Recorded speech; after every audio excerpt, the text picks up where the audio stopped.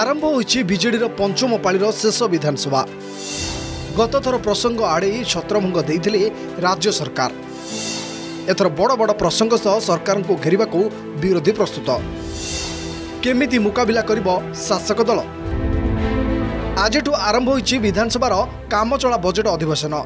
ରାଜ୍ୟପାଳଙ୍କ ଅଭିଭାଷଣ ଓ ଶୋକ ପ୍ରସ୍ତାବ ଆଗତ ପରେ ମଙ୍ଗଳବାର ଯାଏଁ ମୁଲତବୀ ରହିଛି ଗୃହ। ତେବେ ସାଧାରଣ ନିର୍ବାଚନ ପୂର୍ବରୁ ଏହା ଶେଷ ଅଧିବେଶନ ହୋଇଥିବାରୁ ସରକାରଙ୍କୁ ପାଞ୍ଚ ବର୍ଷର ହିସାବ ମାଗିବାକୁ ଖଡ଼ଗହସ୍ତ ବିରୋଧୀ। ବିଧାୟକ ଦଳ ବୈଠକରେ ନିଜ ନିଜର ରଣନୀତି ତିଆରି କରିଛନ୍ତି ବିରୋଧୀ ବିଜେପି ଓ କଂଗ୍ରେସ। ନଜର ପକାନ୍ତୁ ବିରୋଧୀଙ୍କ ହାତରେ ରହିଥିବା ପ୍ରସଙ୍ଗଗୁଡ଼ିକର ଲମ୍ବା ତାଲିକା ଉପରେ। ମହାପ୍ରଭୁ ଶ୍ରୀ ଜଗନ୍ନାଥଙ୍କୁ ଅପମାନ।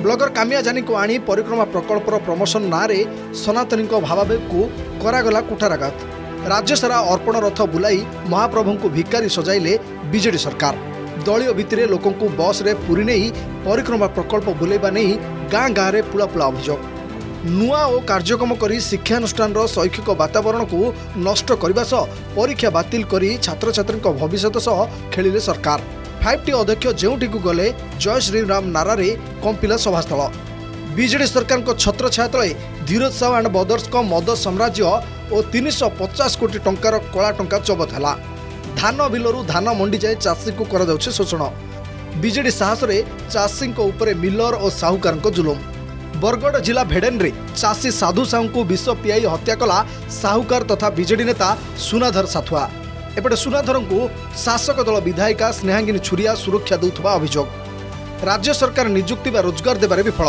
ବାହାରକୁ ଦାଦନ ଯାଇ ଶବ ହୋଇ ଫେରୁଛି ଓଡ଼ିଆ ପୁଅ। ଏହାସହ କନିଷ୍ଠ ଶିକ୍ଷକ ସମେତ ବିଭିନ୍ନ ନିଯୁକ୍ତି ଦୁର୍ନୀତି ଶିକ୍ଷା ଭିତ୍ତିଭୂମି ଅଭାବ ଡ୍ରପ୍ ଆଉଟ୍ ବଢ଼ିବା ବିପର୍ଯ୍ୟସ୍ତ ସ୍ୱାସ୍ଥ୍ୟ ସମସ୍ୟା ପକ୍କାଘର ଦୁର୍ନୀତି ସ୍ୱଚ୍ଛ ପାନୀୟ ଜଳ ଯୋଗାଣରେ ଫେଲ୍ ପଇଁତିରିଶ ପ୍ରତିଶତ ଜଳସେଚନ ଧୋକା ବଢ଼ୁଥିବା ଲ ଲେସନେସ୍ ଏବଂ ଆଦିବାସୀଙ୍କୁ ଅଣଦେଖା ଭଳି ପ୍ରସଙ୍ଗକୁ ମୁଖ୍ୟ ମୁଦ୍ଦା କରିଛନ୍ତି ବିରୋଧୀ।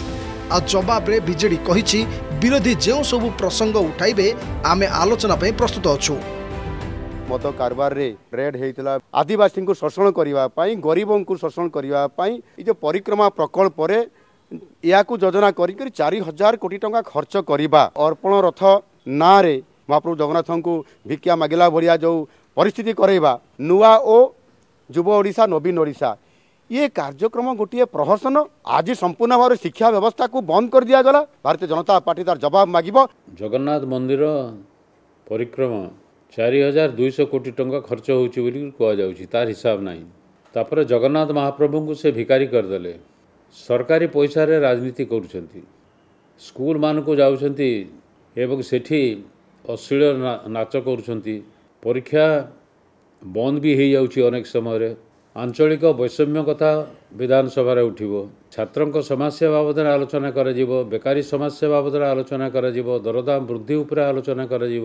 ବିରୋଧୀ ଦଳ ଯେଉଁ ପ୍ରସଙ୍ଗ ଉଠାଇବେ ତା'ର ସଠିକ୍ ଢଙ୍ଗରେ ଆମ ଦଳ ତରଫରୁ ତାକୁ ସମ୍ମୁଖୀନ କରାଯିବ।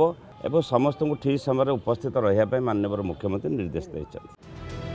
ଚଳିତ ଅଧିବେଶନରେ ମୋଟ ସାତଟି କାର୍ଯ୍ୟ ଦିବସ ଥିବାବେଳେ ଦୁଇ ହଜାର ଚବିଶ ପଚିଶ ଆର୍ଥିକ ବର୍ଷ ପାଇଁ ପ୍ରାୟ ଦୁଇ ଲକ୍ଷ ଷାଠିଏ ହଜାର କୋଟିର ବଜେଟ୍କୁ ଗୃହରେ ଆଗତ କରିବେ ଅର୍ଥମନ୍ତ୍ରୀ ବିକ୍ରମ କେଶରୀ ଆରୁଖ ଆଠ ତାରିଖରେ ଅର୍ଥମନ୍ତ୍ରୀ କାମଚଳା ବଜେଟ୍ ଉପସ୍ଥାପନ କରିବେ ଓ ନଅ ତାରିଖରେ ବ୍ୟୟ ମଞ୍ଜୁରୀ ବିଲ୍ ପାରିତ ହେବ।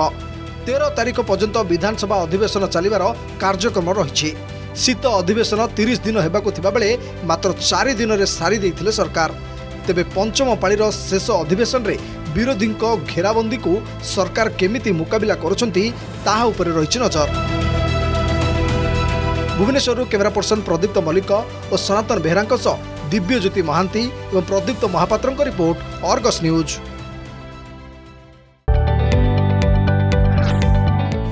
ଯଦି ଆପଣଙ୍କୁ ଆମ ଭିଡ଼ିଓଟି ଭଲ ଲାଗିଲା ତେବେ ଆମ ଚ୍ୟାନେଲକୁ ଲାଇକ୍ ସେୟାର ଓ ସବସ୍କ୍ରାଇବ୍ କରିବାକୁ ଜମା ବି ଭୁଲନ୍ତୁ ନାହିଁ